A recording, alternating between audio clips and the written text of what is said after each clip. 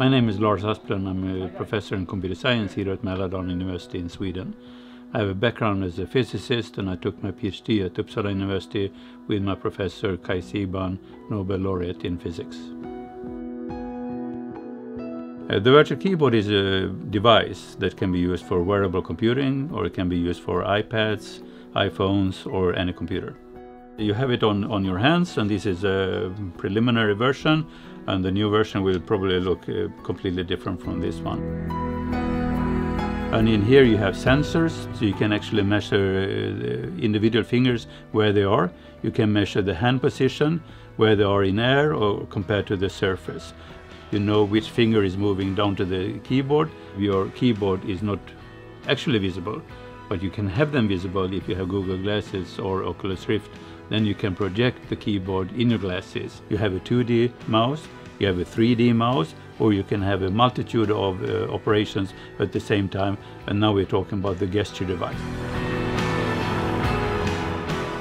Today, people are sitting with their smartphones do various things looking down. We will have a new paradigm shift because now we will go into the wearable computing era.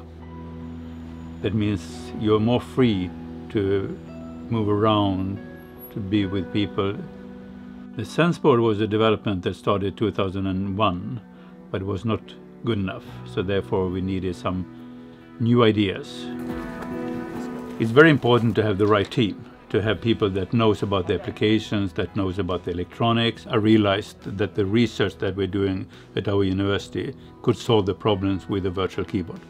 With your support of this campaign, we can actually do the technical development and reach an Explorer edition that can be used by application programmers and the first users. There can be apps for, for gaming, there can be apps for, for new music instruments. We are mo mostly interested in making the device for you. So we asked you, people out there, to create new apps, apps that I could never think of. So we'll supply you with an open API. So there's a lot of possibilities to read the sensors, to read the positions of fingers and hands. All of it will be open source. Given this opportunity, it will mean a lot to me. And now I see a possibility to actually make a virtual keyboard with an accuracy close to 100%. And together we can give the world a new input device for wearable computing.